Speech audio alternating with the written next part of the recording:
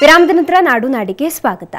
ಉಡುಪಿಯ ಪೆರಡೂರು ಗ್ರಾಮದಲ್ಲಿ ಕೋತಿಗಳ ಕಾಟ ಮಿತಿ ಮೀರಿದೆ. ಇದರಿಂದ ಬೇಸತ್ತ ಗ್ರಾಮಸ್ಥರು ಕೋತಿಗಳನ್ನು ತಾವೇ ಹಿಡಿದು ಕಾಡಿಗೆ ಬಿಡ್ತಿದ್ದಾರೆ. ಆದರೆ ಸಮಸ್ಯೆಗೆ ಶಾಶ್ವತ ಪರಿಹಾರ ಸಿಗ್ತಿಲ್ಲ. ಹಾಗಾಗಿ ಸರ್ಕಾರ ಘೋಷಿಸಿರುವ ಮಂಕಿ ಪಾರ್ಕ್ ಯೋಜನೆಯನ್ನ ಜಾರಿಗೊಳಿಸಬೇಕು ಅನ್ನೋದು ಗ್ರಾಮಸ್ಥರ ಆಗ್ರಹ.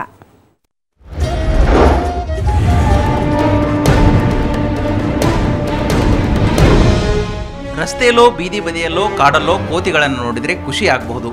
ಯಾರಾದರೂ ಕೋತಿಗಳನ್ನು ಸಾಯಿಸಿದರೆ ದುಃಖ ಕೂಡ ಆಗ್ಬೋದು. ಆದರೆ ಇದೇ ಕೋತಿಗಳು ಹಿಂಡು ಹಿಂಡಾಗಿ ತೋಟಗಳಿಗೆ ದಾಳಿ ಇಟ್ಟರೆ ಕಷ್ಟಪಟ್ಟು ಬೆವರು ಸುರಿಸಿ ಸಾಲ ಮಾಡಿ ಬೆಳೆದ ಫಸಲನ್ನೆಲ್ಲ ಹಾಳು ಮಾಡಿ ಹೋದರೆ ಖುಷಿನೂ ಆಗಲ್ಲ, ದುಃಖನೂ ಆಗಲ್ಲ. ಸಿಟ್ಟು ಬರುತ್ತೆ. ಹೀಗೆ ಕೋತಿಗಳ ಕಾಟಕ್ಕೆ ಬೇಸತ್ತಿರೋದು ಉಡುಪಿ ತಾಲೂಕಿನ ಪೆರಡೂರು ಗ್ರಾಮಸ್ಥರು.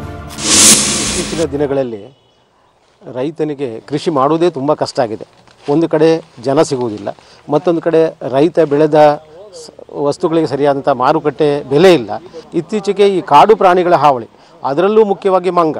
ಉಳಿದ ಕಾಡು ಪ್ರಾಣಿಗಳಂತ ಹೇಳಿದರೆ ನಮಗೆ ನವಿಲು, ಕಾಡು ಹಂದಿ ಸ್ವಲ್ಪ ಮಟ್ಟಿಗೆ ತೊಂದರೆ ಕೊಡ್ತವೆ. ತೊಂಬತ್ತು ಶೇಕಡ ಬರೀ ಮಂಗನಿಂದಲೇ ಅಂತೇಳಿ ಹೇಳಬೇಕಾಗ್ತದೆ. ಮತ್ತು ಮುಖ್ಯವಾಗಿ ಇತ್ತೀಚಿನ ದಿನಗಳಲ್ಲಿ ಅಂತ ಹೇಳಿದರೆ ತೆಂಗಿನಕಾಯಿ.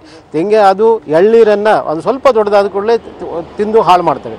ಅಂತೂ ಈ ಮಂಗಗಳಿಂದಾಗಿ ರೈತನಿಗೆ ಬದುಕಲಿಕ್ಕೆ ಸಾಧ್ಯವಿಲ್ಲ ಅನ್ನುವಂಥ ಪರಿಸ್ಥಿತಿ ಬಂದಿದೆ. ಕೋತಿ ಕಾಟ ಅಂತ ಬದುಕೋದನ್ನ ಬಿಡಕ್ಕಾಗತ್ತಾ? ಸಾಧ್ಯನೇ ಇಲ್ಲ. ಹಾಗೇನೆ, ನಾವು ಬದುಕಬೇಕು, ಕೋತಿಗಳು ಬದುಕಬೇಕು ಅಂತ ನಿರ್ಧರಿಸಿರೋ ಗ್ರಾಮಸ್ಥರು ಕೋತಿಗಳನ್ನು ಹಿಡಿದು ಕಾಡಿಗೆ ಬಿಟ್ಟು ಬರ್ತಿದ್ದಾರೆ. ಆದರೆ ದಿನವೂ ಇದೇ ಕೆಲಸ ಆಗ್ತಿದೆ. ಸೊ ಸರ್ಕಾರ ಘೋಷಿಸಿರುವ ಮಂಕಿ ಪಾರ್ಕ್ ಯೋಜನೆಯನ್ನ ಜಾರಿಗೊಳಿಸಬೇಕು ಅನ್ನೋದು ಪೆರಡೂರು ಗ್ರಾಮಸ್ಥರ ಆಗ್ರಹ.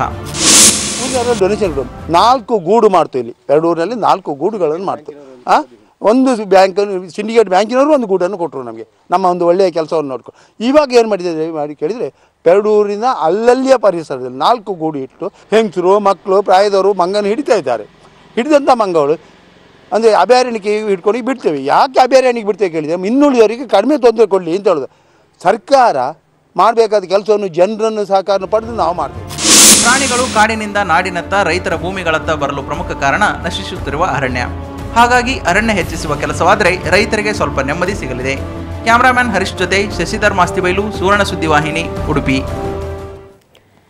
ಇನ್ನು ವೈಕುಂಠ ಏಕಾದಶಿಯ ದಿನವಾದ ಇಂದು ಪ್ರಾಣ ತ್ಯಜಿಸಿದರೆ ಮುಕ್ತಿ ದೊರೆಯುತ್ತೆ ಎಂಬ ನಂಬಿಕೆ ಹಿನ್ನೆಲೆಯಲ್ಲಿ ಗೃಹಿಣಿಯೊಬ್ಬರು ನೇಣು ಬಿಗಿದುಕೊಂಡು ಆತ್ಮಹತ್ಯೆಗೆ ಶರಣಾಗಿದ್ದಾರೆ. ಈ ಘಟನೆ ನಡೆದಿರುವುದು ಚಾಮರಾಜನಗರ ಜಿಲ್ಲೆ ಕೊಳ್ಳೇಗಾಲದಲ್ಲಿ. ಸರಸ್ವತಿ ಆತ್ಮಹತ್ಯೆಗೆ ಶರಣಾಗಿರುವ ಮಹಿಳೆ. ಇಂದು ಬೆಳಗ್ಗೆ ಮೂರು ಮೂವತ್ತರ ಸುಮಾರಿಗೆ ಸರಸ್ವತಿ ಆತ್ಮಹತ್ಯೆಗೆ ಶರಣಾಗಿದ್ದಾರೆ. ಸರಸ್ವತಿ ಮೂರು ಮಕ್ಕಳು ಹಾಗೂ ಗಂಡನನ್ನಾಗಲಿದ್ದಾರೆ.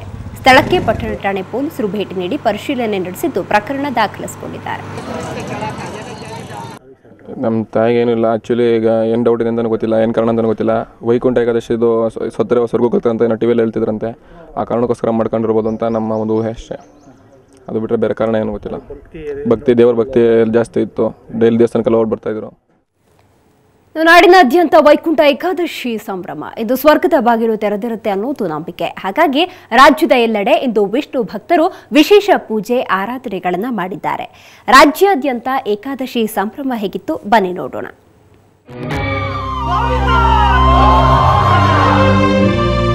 ಅದಿವೋ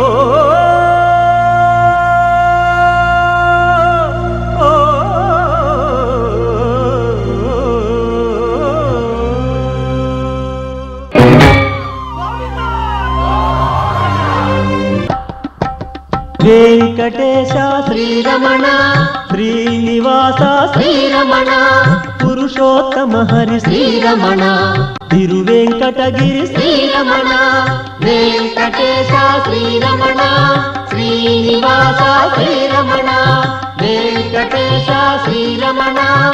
శ్రీనివాస శ్రీరమణ. తిరుమలవాస శ్రీరమణ.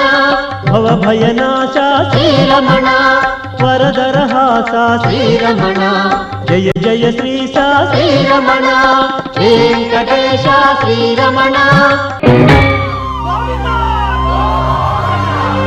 శ్రీపద పద్మ శ్రీరమణ శ్రీపాద పూజ శ్రీరమణ శ్రీనివాస శ్రీరమణ శ్రీ తులసి పూజ శ్రీరమణ వెంకటేశ శ్రీరమణ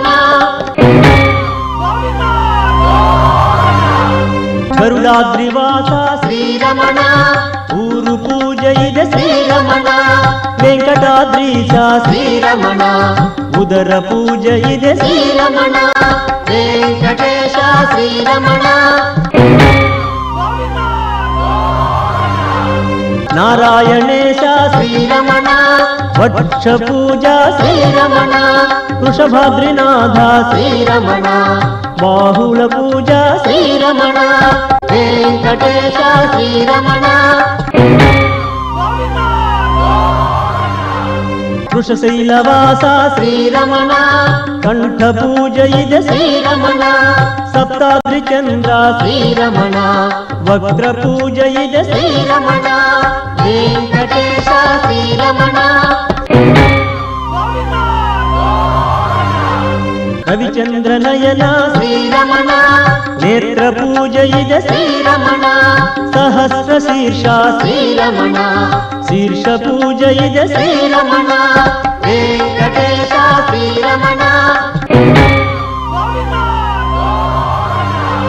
కలియుగ దైవమ. శ్రీరమణ. కరుణాసాగర. శ్రీరమణ. ಜಯ ಜಯ ಜಯ ಜಯ ಶ್ರೀರಮಣ, ಜಯ ವಿಜಯೀ ಭವ ಶ್ರೀರಮಣ. ವೆಂಕಟೇಶ ಶ್ರೀರಮಣ, ಶ್ರೀನಿವಾಸ ಶ್ರೀರಮಣ ಇದು ಗೊತ್ತಿನ ನಾಡು ನಾಡಿ, ಈಗ ಶಕ್ತಿ ಸ್ವರೂಪಿಣಿ ವಿಶೇಷ ಕಾರ್ಯಕ್ರಮ ಪ್ರಸಾರವಾಗಲಿದೆ. ಕ್ಷಣ ಕ್ಷಣದ ಸುದ್ದಿಗಾಗಿ ನೋಡ್ತಾ ಇರಿ ಸುವರ್ಣ ಸುದ್ದಿವಾಹಿನಿ.